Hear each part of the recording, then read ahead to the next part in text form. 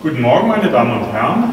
Herzlich willkommen im Hans-Erni-Museum. Mein Name ist Heinz Stahlhut, ich bin der Leiter des Museums und begrüße Sie heute Morgen zu einem besonderen Termin hier im Museum. Die Luzerner Museen veranstalten ja regelmäßig die sogenannten Museumsseitensprünge. Das heißt, dass ein Mitarbeiter oder eine Mitarbeiterin eines Museums einen Kollegen, eine Kollegin in einem anderen Museum besucht und dass man dort gemeinsam über Objekte aus der Sammlung oder die aktuelle Sonderausstellung spricht. Ich habe heute Morgen hier zu Gast Frau Dr. Kerstin Bieter, eine liebe Kollegin aus der Sammlung Rosengart, mit der ich heute Ihnen die Ausstellung Kunststoff Plastik vorführen möchte. Da wir momentan ja noch keine Besuchergruppen zu Veranstaltungen empfangen dürfen, ähm, zeigen wir Ihnen gerne diese Ausstellung heute als Live-Event über das Internet. Viel Spaß dabei. Also erstmal ganz, ganz herzlichen Dank, lieber Heinz, dass du mich eingeladen hast. Ich habe mich sehr gefreut, hierher zu kommen, weil mich der Titel der Ausstellung schon sehr, sehr beeindruckt hat. Den Kunststoffen in Bezug auf äh, Materialität als Skulpturen, als ähm, Plastik in der Tat, habe ich nie die Aufmerksamkeit geschenkt, die ich ihr jetzt geschenkt habe mit der Ausstellung. Das war schon mal ein besonders schöner Anlass. Und dann natürlich dieses fantastische Wortspiel zwischen Plastik als Oberbegriff der Skulptur, als eine Form der Skulptur kann man sagen, aber dann natürlich auch äh, dieser Vielschichtigkeit des Materials, Kunststoff, was die Ausstellung hier in hervorragender Form widerspiegelt und ich dir sehr dankbar bin, weil du das so wunderbar kuratiert hast auch durch die Geöffnetheit des äh, Raumes der Architektur, so wie es bespielt ist jetzt, die Szenografie, die bringt das auch sehr, sehr schön zum Vorschein. Es ist eine Bewegung hier drinnen, nicht nur in der Art und Weise, dass es eben nicht nur gehängte Exponate sind, man findet sie mitten im Raum innen drinnen und dann das Werk selber, das Exponat selber, wie wir jetzt gleich sehen werden, das hat ja eben auch eine unglaubliche Dynamik und ist alles andere als rigide an der Wand hängend viele, viele Argumente hierher zu kommen. Für deine ausführliche Antwort auf meine Frage, warum wir uns heute Morgen hier befinden. Im Moment stehen wir gerade vor einem zeitgenössischen Werk eines jungen russischstämmigen Künstlers, Lev Kesin. Er arbeitet mit einem ganz ungewöhnlichen Material, nämlich mit Silikon. Das kennen Sie vielleicht aus dem Badezimmer, wo damit äh, Fugen abgedichtet werden. Und das ist ja eigentlich ein ganz banales Material, das ist aber auch sehr typisch hier für die Werke in der Ausstellung, dass die solches Material benutzen, das wir alle aus dem Alltag kennen, wo ja Kunststoffe allgegenwärtig sind. Ähm, Lev Kesin bearbeitet dieses Material aber in einer ganz besonderen Weise. Er fügt nämlich diesem eigentlich ja durchsichtigen, klaren Material Pigment bei und trägt damit eine erste Schicht seiner Malerei auf. Dann fügt er wieder anderes äh, Pigment dem Silikon hinzu und fügt eine weitere Schicht dazu. Und das führt dazu, dass es in diesen Gemälden diese unglaubliche Tiefe gibt, dieses Changieren, dieses Schillern der Farbschichten und äh, gleichzeitig eben dann man auch immer noch sieht, wenn man das Bild von der Seite anschaut, ähm, wie vielschichtig im wahrsten Sinne des Wortes diese Malerei ist. Und das ist von daher ein schöner Einstieg in diese Ausstellung, wo man eben diese verschiedenen künstlerischen Umgangsweisen mit dem Kunststoff Plastik sehr schön nachvollziehen kann. Und was mich beeindruckt hat, als ich das allererste Mal mit dir durch die Ausstellung gehen durfte, dass ich gesehen habe, wie wichtig es ist, immer auch mal den Standort zu verändern, also ruhig auch mal ein bisschen weiter wegzugehen, die Perspektive auch in dem Sinne schön auszukosten. Man bekommt, du hast es gesagt, wunderbar, besser kann man es nicht sagen, wirklich das Gefühl dafür, dass dieses zweidimensionale Werk eine unglaubliche Tiefe hat. Und hätte ich nicht gewusst, aus welchen Materialien jetzt eben das Ganze beschaffen ist, man hätte gut und gerne auch denken können von weiter weg, es entwickelt so eine Art wie Faltenwurf quasi. Es hätte etwas ganz Haptisches auch an sich und das macht es so spannend, denke ich. Es macht das eben auch, dieses Irisierende aus. Unabschließbar. Danke. Jetzt gehen wir zu Arbeiten, die so den Anfang markieren, als Plastik in die Kunst Eingang gefunden hat.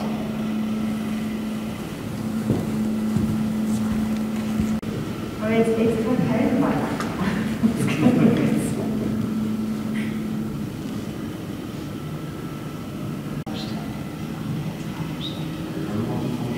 Ja, genau.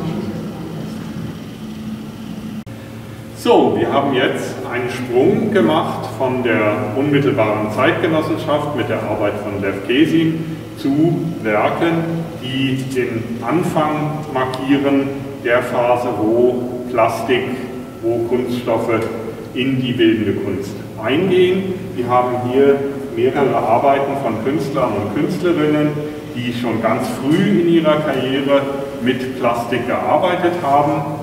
Als erstes haben wir hier ein Werk von ähm, Georges van Tongerlo, ein Zeitgenosse von Hans Erni, der auch mit ihm in verschiedenen Künstlergruppen zusammen war und ihn auch gut gekannt hat. Und an dieser Arbeit, die jetzt aus den 50er Jahren stammt, Van Tongerlo hat aber auch schon sehr viel früher mit diesem Material gearbeitet, sieht man sehr schön, was die Künstler und Künstlerinnen an diesem Material interessiert hat. Es ist ein Material, das sich in jegliche Form bringen lässt, das man durchsichtig machen kann, das man aber auch einfärben kann, wie das hier Max Bill bei seinem Werk getan hat, ähm, das von daher auch undurchsichtig sein kann. Man kann verschiedene Farbstoffe einfügen, also das Plastik bietet eigentlich genau das, was sich Künstler und Künstlerinnen am Anfang des 20. Jahrhunderts, weil in den 20er Jahren gibt es ja das erste Mal eigentlich solche Werke aus solchen Kunststoffen, was sich Künstler in dieser Zeit eben von einem Werkmaterial gewünscht haben. Viel, viele verschiedene Einsatzmöglichkeiten, ähm, unterschiedliche Stoffqualität, all das bot das Plastik am Beginn des 20. Jahrhunderts schon. Du wolltest uns etwas erzählen, wie andere Leute auf, in dieser Zeit auf dieses Material reagiert haben. Ja, das eben hat mich auch sehr beeindruckt oder hat mich ein wenig auch ähm, dazu inspiriert, das nochmal ein bisschen zu vertiefen. Zum einen den wunderbaren Beitrag, den auch wirklich sehr profunden Text von Katrin Kolb in eurem Ausstellungskatalog. Sie geht da eben auch der Frage nach, der Deutsche Werkbund 1907 als eine Vereinigung gegründet zwischen Unternehmern, Architekten, aber natürlich auch Künstlern, Sachverständigen.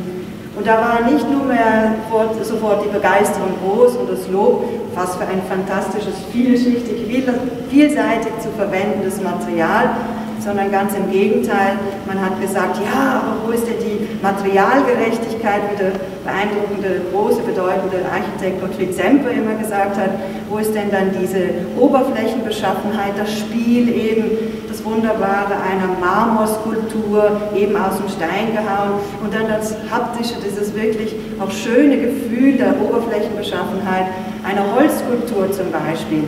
Und dieses Chamäleonartige, was du ja vorhin so schön beschrieben hast, nicht?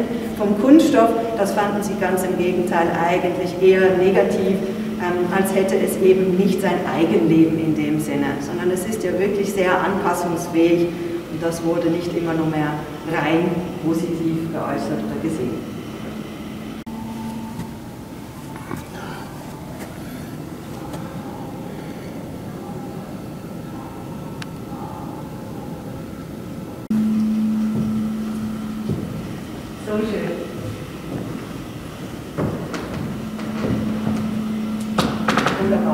Ja, Kerstin, so ein Besuch gibt ja auch immer die Möglichkeit, dass die Besucherin sich Werke aussuchen kann, über die sie gerne mit mir sprechen möchte. Und du hast dir dieses Werk von der Basler Künstlerin Rosa Lachenmeier ausgewählt. Äh, sie hat ein ganz besonderes, eine ganz besondere Unterlage für ihre Malerei verwendet und ich glaube, das hat dich am meisten gereizt. Stimmt. Ich habe mich mit ihr ein wenig auseinandergesetzt, auch, das sage ich ganz ehrlich, weil sie auf verschiedenen Social-Media-Kanälen sehr viel auch über sich erzählt hat und das hat mich äh, wirklich fasziniert, was sie gesagt hat. Und es gibt so ein wunderschönes Zitat, mit dem möchte ich am liebsten anfangen von ihr. Von all den verwendeten Alltagsobjekten nimmt die Schallplatte für mich einen besonderen Platz ein. Als Tonträger brachte sie damals die Welt der Musik nach Hause und wurde dadurch ein Prestigeobjekt der Jugend. Als schwarz glänzende runde Scheibe hat sie einen unwiderstehlichen Reiz und es ist immer noch so, sagt sie, dass es einer ihrer liebsten Bildträger ist. Und als solches, das muss man wirklich sagen, wenn man hier, so wie wir jetzt kurz davor stehen, so nah herankommen dürfen, schön, dass wir das können, weil das auch zum Seherlebnis, denke ich, fest, fest mit dazugehört. Man sieht die Vinylplatten, man erkennt aber jetzt, dass sie mit diesem wunderbaren Reiz, eben dieser glänzenden Oberfläche etwas ganz Fantastisches macht.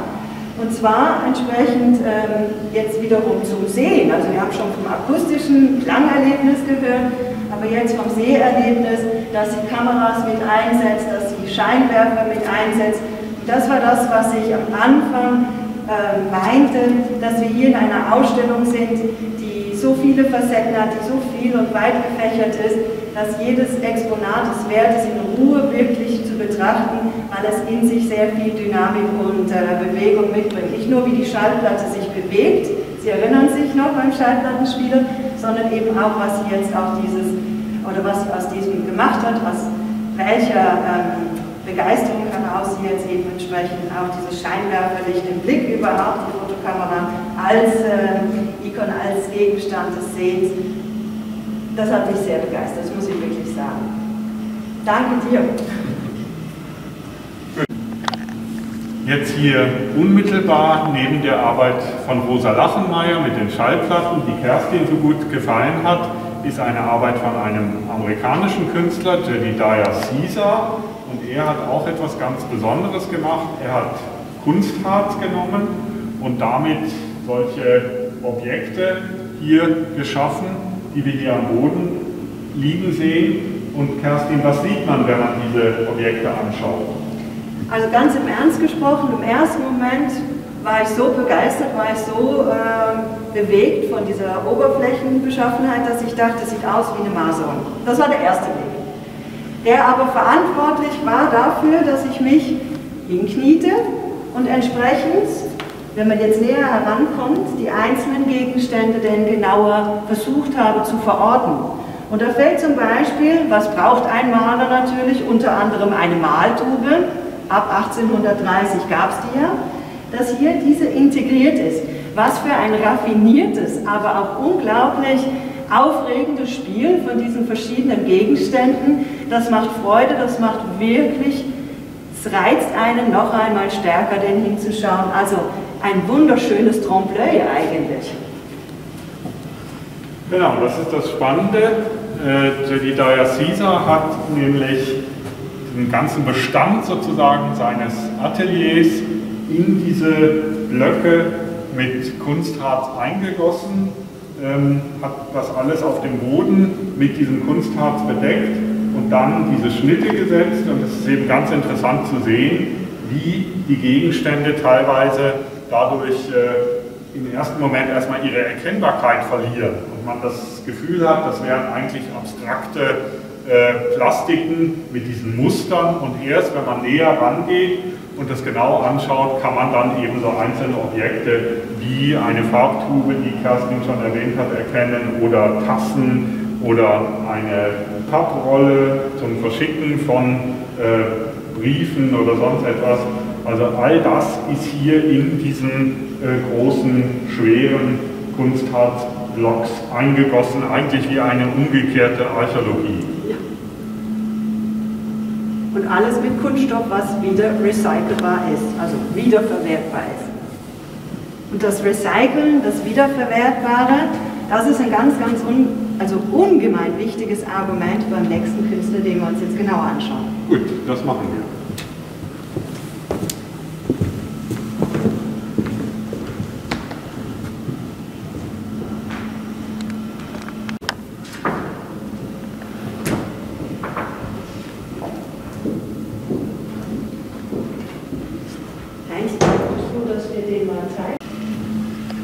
mit dem von dir ausgewählten Werk von Rosa Lachenmeier sind wir jetzt schon ein erstes Mal der Populärkultur begegnet, die Schallplatte als Objekt, die eine wichtige Rolle spielt, wie du schon Rosa Lachenmeier zitiert hast, in der Jugendkultur.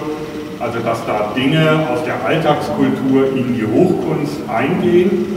Und ein Künstler, äh, der das auch sehr stark gemacht hat oder fast sogar in die andere Richtung gemacht hat, dass Kunst nämlich in den Alltag Eingang findet.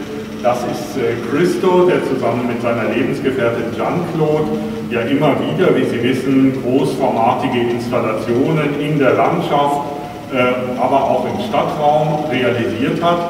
Und wir haben als Beispiel hier in der Ausstellung drei solche Collagen, ähm, die Christo gemacht hat und die er dann verkauft hat und mit dem Erlös dieser Collagen haben er und seine Lebensgefährtin ähm, ihre Projekte finanziert, um äh, finanziell unabhängig zu sein, sich nicht von jemandem sponsern zu lassen, der ihnen Vorschriften macht. Also es ging ihnen immer darum, unabhängig zu bleiben und dafür waren diese Collagen gedacht, die aber gleichzeitig natürlich auch so ein Projekt wie diese Verhüllung der Bäume auf den Champs-Élysées äh, veranschaulichen. Und wenn man da mal näher dran geht, dann sieht man, sie arbeiten einerseits mit Fotografien des Ortes, aber auch mit Kartenabschnitten.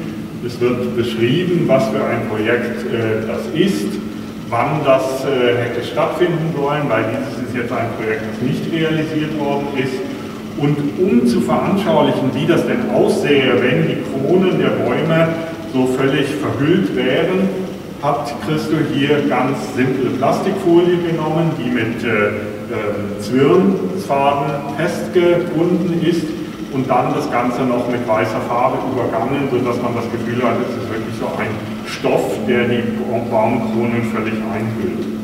Und das äh, hast du gesagt, ähm, hat äh, Christo eigentlich immer ähm, so gemacht, dass dieses Material dann auch immer wiederverwendet werden kann. Ja, genau.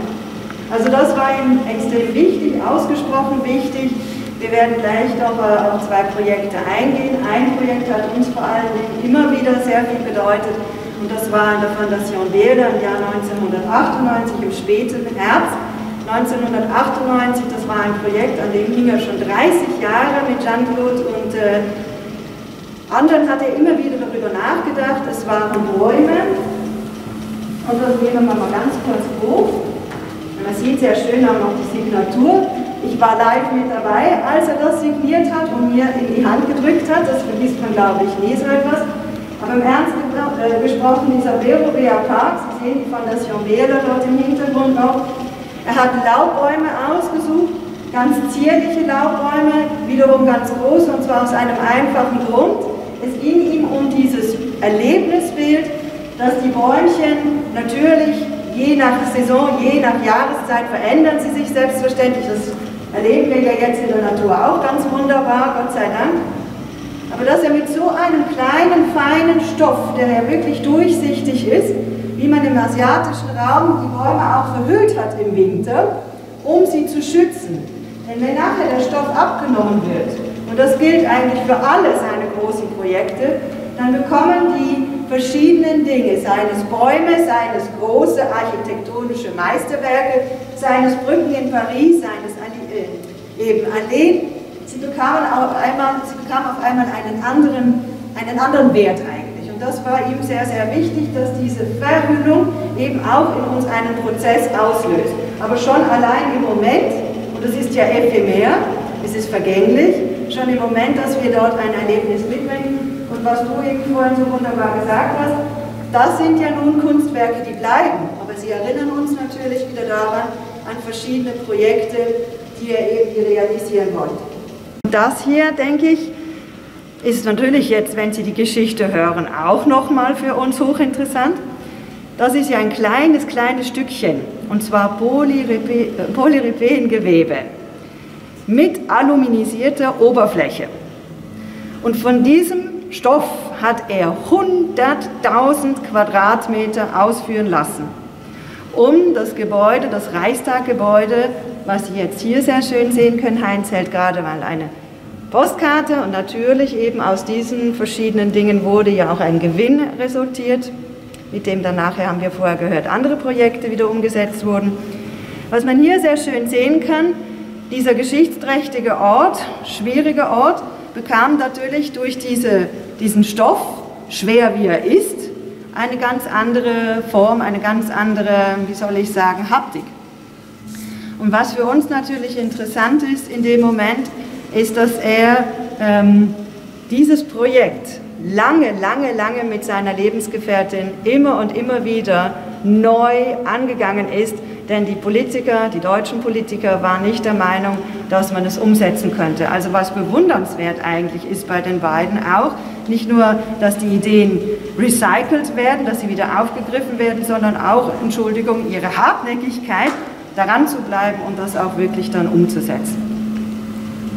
Aus derselben Generation wie Christo stammt die Künstlerin, von der diese beiden Objekte hier sind, Niki de Saint-Phal, die ja vor allen Dingen bekannt geworden ist mit den großen Nana-Figuren, also diesen üppigen weiblichen Figuren, die eben auch mit Kunststoff gemacht waren. Und aus diesem Kunststoff sind auch diese Vasen hier gemacht. Ähm, es ist eben keine Keramik, wie man im ersten Moment, oder Porzellan, wie man vielleicht denkt, sondern es ist Kunststoff, äh, unter anderem deshalb, weil das ein Material ist, das preisgünstig ist, mit dem man eine große Auflage realisieren kann und so ähm, halt auch sich viele Leute leisten können, sich so ein Werk zu kaufen. Und das war ja auch im Interesse besonders dieser Generation der unmittelbaren Nachkriegskunst, dass sie eben ihre Kunst in einem breiten Publikum zugänglich machen wollten ja, wenn Sie einmal Zeit haben und das Reisen wieder möglich ist, dann unbedingt den Tarotgarten in Garavicchio besuchen, in der südlichen Toskana. Unglaublich schön und natürlich auch für uns jetzt hochinteressant, weil diese kleinen, feinen, also Entschuldigung, relativ gesehen natürlich, Vasen und dann eben diese immens großen Gebäude, wo Sie wirklich durchwandern können. Und hier, wo ich meine Daumen drauf halte, das ist eine Küche. Das ist also wirklich ein Lebensraum, wo sie mit Jean Dinguely tatsächlich ihrem Lebensgefährten ja auch gelebt hat. Und das war ein Herzenswunsch von ihr, diese Tarotkarten, Sie kennen sie alle, wiederum hier ein Gegenstand, dass sie das umsetzen wollte und dann solch eine fantastische Gegend ausgesucht hat. Und ja, gerade heute Morgen, als ich dich jetzt heute besucht hatte, war es für mich wiederum schön. Ich komme aus Zürich und äh, der Engel der Reisenden, eine Nana, der beschützt uns. Und dieses immens große Wesen, das über ihren Köpfen hinweg schwebt und eben entsprechend dafür Sorge trägt, dass wir auch gut ankommen, das ist tief, tief in meinem Gedächtnis eingeprägt, die Nanas. Oh.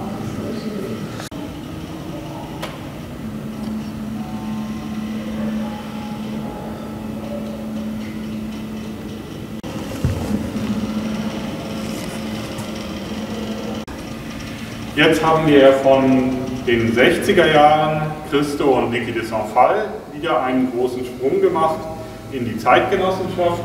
Eine konzeptuelle Arbeit von dem Luzerner Künstler Martin Gut. Er hat sich schon längere Zeit mit diesem Zitat von Michelangelo herumgeschlagen, das eigentlich in jedem Steinblock eine Skulptur schon drin enthalten ist. Und Martin Gut ist dann auf die Idee gekommen, dann könnte er ja den umgekehrten Weg gehen und er lässt einen 3D-Drucker das größte, für ihn größtmögliche Volumen drucken und dann sind in diesem Block ja potenziell eigentlich auch schon alle Skulpturen enthalten, die man sich vorstellen kann. Was man sehr schön sieht da hinten an der Zeichnung, die er als äh, Teil dieser Konzeptarbeit versteht, dass äh, dort in diesem Block, den dieser 3D-Drucker, den uns die Firma 3D World zur Verfügung gestellt hat als Sponsoring, dass da eigentlich schon alle Skulpturen der Welt sozusagen drin enthalten sind. Und das ist natürlich eine sehr interessante Arbeit, weil dieser Drucker eben auch die ganze Zeit während der Ausstellung läuft und die ganze Zeit eben eigentlich Kunststoff produziert im, im doppelten Sinne des Wortes. Also eine Maschine, die jetzt sozusagen dem Künstler die Arbeit abnimmt. Oh je, das bricht mein Herz. Vor allen Dingen deswegen, weil ich mich augenblicklich sehr mit Sophie Teuber-Art befasse, eine Künstlerin, die wirklich mit Leib und Seele gelebte Abstraktion ist es ja die Ausstellung von Dr. Eva Reifert in Basel im Kunstmuseum, sich wirklich entsprechend damit äh, auseinandergesetzt hat. Was kann ich tun, um den verschiedenen einzelnen Dingen, und seien sie noch so klein, eine Seele einzuhauchen? Und hier haben wir jetzt einen Apparat, entsprechend, der das Manufaktum, also das mit der Hand gemachte, dass das jetzt hier ersetzt wird, interessante und wirklich wahrscheinlich wichtige Begebenheit, mit der man sich einfach auch mal entsprechend äh, auseinandersetzen muss. Aber passt natürlich auch sehr schön zu diesem Material Kunststoff. Du hast es eingangs ja erwähnt, dass es da auch viele Vorbehalte gab, eben genau deshalb, weil man beim Kunststoff eben nicht mehr die persönliche Handschrift des Künstlers, der Künstlerin sieht, sondern dieses Material so bearbeitet werden kann, dass es eigentlich überhaupt keine äh, Spuren der Fertigung ähm, aufweist. Und das, dazu passt natürlich eben auch dann dieses Delegieren, dieses Übertragen des Schöpfungsvorgangs an die Maschine, die äh, der Martin Gut hier diesen Auftrag gegeben hat.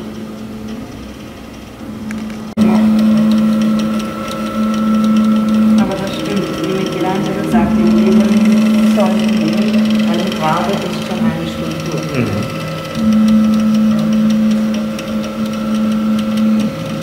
Das Besondere bei dieser Maschine ist natürlich, dass der Künstler genau einstellen kann, wie lange so ein Produktionsvorgang geht. Also was man ja als Künstler, Künstlerin normalerweise bei der Schöpfung eines Kunstwerks gar nicht äh, bestimmen kann, wie lange das geht, bis das fertig ist.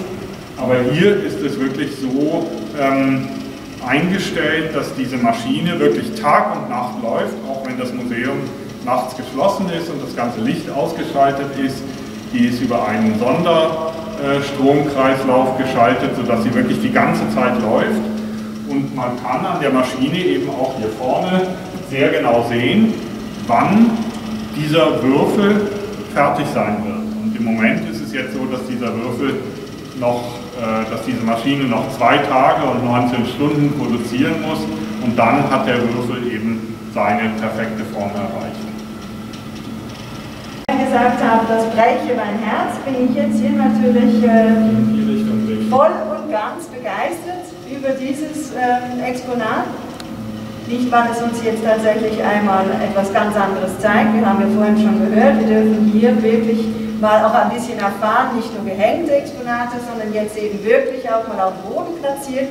Aber auch hier finde ich diese vielen Facetten sehr, sehr interessant ähnlich wie wir es heute schon einmal gehört haben, habe ich nämlich im ersten Moment gedacht, Moment, das kann kein Kunststoff sein, das ist ein gestricktes, ein wunderbares Handwerk, eben wie wir vorhin hörten von Sophie Teuber-Ab, diese vielen kleinen, feinen, perlgesteckten Dinger gewoben, geknüpft.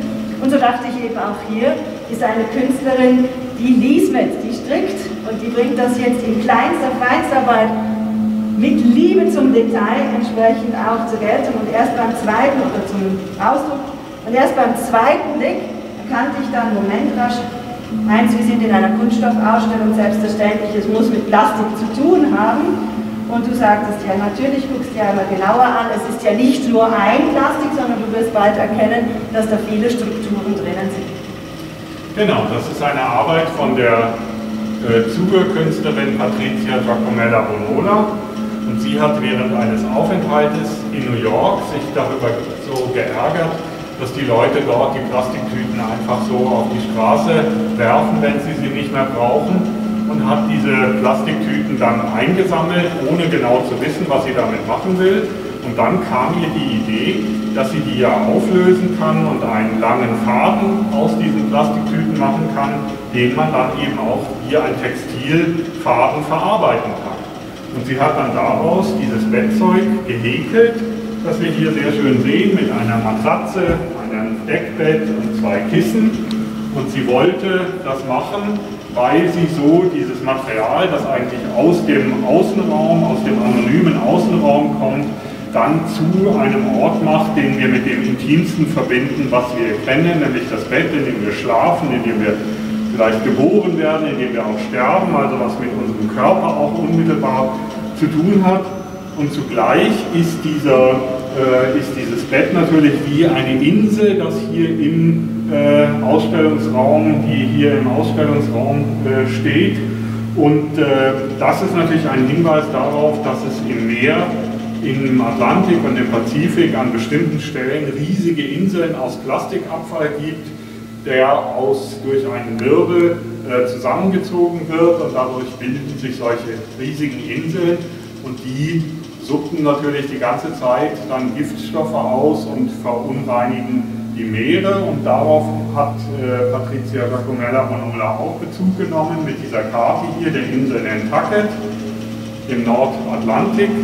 Dort ist nämlich äh, ganz in der Nähe auch so ein großer Plastikwirbel, der ständig Giftstoffe aussondert und dadurch die reichen Fischvorkommen, die es ursprünglich um Nantucket herum gibt, immer mehr bedroht. Und das ist eben so eine Arbeit, wo ähm, klar von der Künstlerin angespielt wird auf die gefährliche, für die Umwelt gefährliche Wirkung des Plastiks. Ähm, und das ist natürlich eine ganz enge Verbindung zu Hans Erni, der sich sehr stark immer auch für Umweltschutz eingesetzt hat und solche Arbeiten wie diese hier oder auch die Arbeiten von Ursula Stalder, die Objekte an den Meeresküsten sammelt und daraus ihre Installationen macht, das war mir für die Ausstellung eben auch sehr wichtig, das eben auch zu zeigen, dass Plastik nicht nur ein gäbiges Material ist, mit dem man viele tolle Dinge machen kann, sondern dass es auch ein Material ist, das unsere Umwelt unmittelbar gefährdet. Genau, dieses Argument ist es, womit du die Jungmannschaft ganz stark begeistert hast. Meine Tochter, die du ja auch kennst, die hat gesagt, schau mal, das ist jetzt wirklich eine Idee von Heinz, die er aufgegriffen hat. Und unsere Künstlerin hier, von der du sprachst, die hat 2017 ja diese Idee schon entsprechend ergriffen. Und das freut mich so sehr, dass diese Nachhaltigkeitsdiskussion, die ja jetzt immer wichtiger wird, dass sie das eigentlich schon sehr früh auch äh, gesehen hat und unsere Aufmerksamkeit ganz subtil darauf lenkt. Also wirklich, das hat mich so sehr gefreut, dass sie eine, eine wirklich feine, einfühlsame Art gefunden hat, holistisch, ganzheitlich, denn ja, natürlich, als Kunstwerk ist es immer aus der Zeit geboren heraus und sie hat den Tenor, also weitsichtig eigentlich schon ergriffen, hat das erfasst und umgesetzt und das begeistert mich wirklich sehr in dieser Ausstellung, was ich anfangs auch gesagt habe wir haben einmal mehr die Möglichkeit, das Wasser und unsere Umgebung, unsere Natur wertzuschätzen. Und ihr hattet das ja in eurer großen Veranstaltung, Podiumsgespräch, wo ja wirklich Fachleute dort waren. Kunststoff ist wertvoll, Kunststoff kann Leben retten. Genau, das schauen wir uns jetzt in einer letzten Arbeit noch an, die wir Ihnen gerne zeigen möchten heute Morgen. Du hast mehrfach jetzt schon die Textilkünstlerin ähm, Sophie Teurer-Arp ins Spiel gebracht. Ähm, sie hat sich ja immer auf der Grenze zwischen Hochkunst und äh, angewandter Kunst bewegt und es war mir darum auch wichtig, in dieser Ausstellung auch einen Beitrag zu haben, der eher im Bereich der angewandten Kunst, des Designs sozusagen ist und ich habe dann die Kollegen von der Hochschule hier in Luzern gefragt, ob sie ähm, Studierende kennen, die mit Plastikrecycling arbeiten. Und sie haben mir dann dieses Projekt hier von Lorena Adler und Selina Kadruvi empfohlen, Sichtwandel. Und es ist ein äh, Projekt, das sehr viel mit Textil zu tun hat.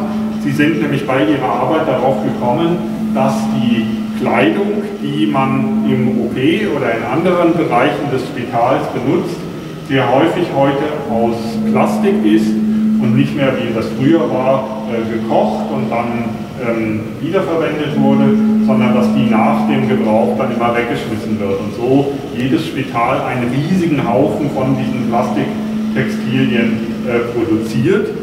Und sie haben sich dann eben überlegt, dass man, dieses, dass man diese Einwegkleidung ja eben bearbeiten und verarbeiten kann und dann aus diesen äh, Textil eben so eine Folie machen kann, die man dann zum Beispiel, wie wir das hier sehen, in so einen äh, Wandschirm einspannen kann, den man dann entweder im Krankenzimmer aufstellen kann, um äh, Betten voneinander abzuschirmen oder im Wartebereich aufstellen kann, um die Leute da voneinander zu trennen. Also multifunktional, wenn ich das so aus dem auch wirklich nochmal heraushole, ist es tatsächlich ja auch wie bei beiden Künstlern, nämlich Sophie Teuber bzw. Sonja Delonier auch immer drum gegangen, hohe Kunst oder angewandte Kunst, in welchem Lebensbereich, wo wird diese Kunst ausgestellt, wo wird sie entsprechend äh, von Nutzen sein.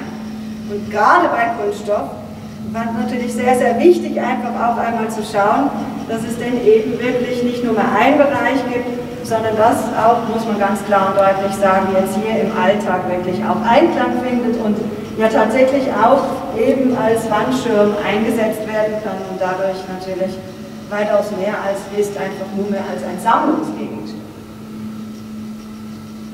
Ja, meine Damen und Herren, wir haben unseren kleinen Rundgang beendet.